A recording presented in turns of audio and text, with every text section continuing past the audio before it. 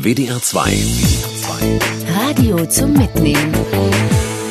Kabarett. Jetzt sagen Sie nicht, es ist schon wieder Dienstag. Und wieder hat unser gebeuteltes Land eine Schicksalswahl unfallfrei überstanden.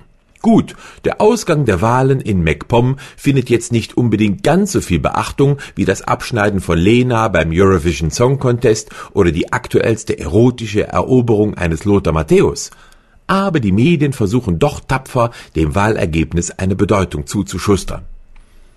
Erstmal wird vor allem darauf verwiesen, dass nur noch 51 Prozent zur Wahl gegangen sind. Ich würde sagen, immerhin noch 51 Prozent. Man könnte doch auch mal stolz darauf sein, dass in einem so armen Land wie MacPom so viele wackere Demokraten bereit waren, kostbare Schuhsohlen abzunutzen, um zu einer Wahl zu latschen, deren Ausgang so spannend war wie die Frage, was passiert, wenn ich ein rohes Ei gegen eine Betonwand werfe. Zugegeben, dass die FDP jetzt schon mit der 3%-Hürde kämpft, war eine mir nicht unangenehme Überraschung. Aber solange jene Verwegenen, die sich trotz ihrer politischen Überzeugungen immer noch Liberale nennen, das Totenglöcklein als Weckruf interpretieren, mache ich mir keine falschen Hoffnungen.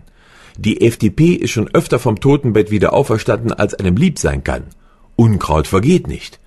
Ansonsten stürzen sich alle Berichterstatter auf den Wiedereinzug der NPD in den Landtag.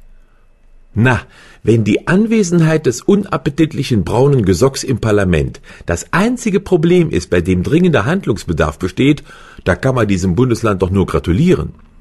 Aber jetzt kommen die unvermeidlichen Rufe nach einem Verbot der NPD.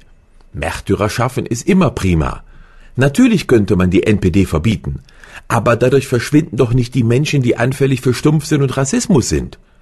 Blödheit kann man nicht verbieten, man kann nur dagegen ankämpfen, und da sehe ich durchaus Erfolge.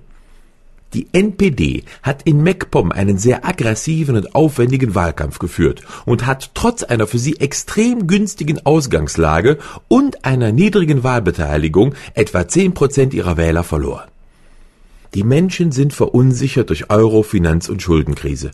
Mehr als 20 Prozent der Bevölkerung sind zu einer dauerhaften Existenz im Niedriglohnsektor samt Aussicht auf Altersarmut verurteilt. Wenn die Menschen dann angesichts der offensichtlichen Ratlosigkeit der etablierten Parteien nicht in Scharen zu den braunen Rattenfängern überlaufen, lässt das doch hoffen, dass unsere Demokratie stabiler ist, als viele befürchten. Wir müssen damit leben, dass es Unverbesserliche gibt in unserem Land. Und um eine Partei dauerhaft unter fünf Prozent zu drücken, da bedarf es schon solche Experten wie Westerwelle, Rösler, Brüderle und Co.